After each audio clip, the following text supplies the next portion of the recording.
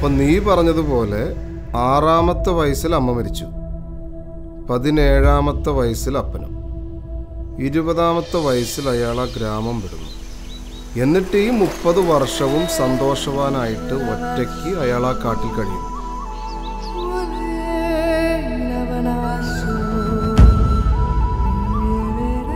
വിശ്വസിക്കാൻ കുറച്ച് പ്രയാസമുണ്ട്.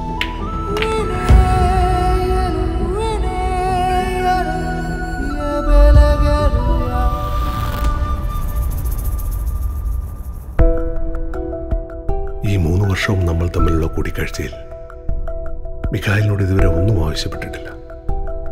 പക്ഷേ നിങ്ങളിപ്പോൾ എനിക്കൊരു ഗവേഷണ വസ്തു എന്നതിനേക്കാൾ മറ്റെന്തെല്ലാമോ കഴിഞ്ഞിരിക്കുന്നു.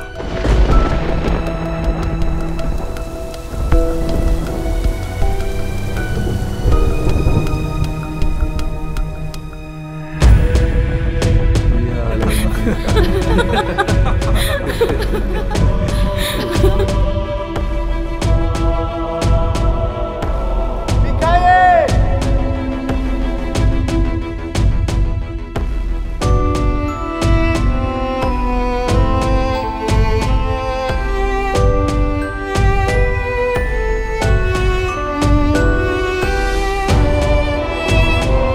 എന്താ ഈ കേസിൽ ഇത്രയധികം താല്പര്യം?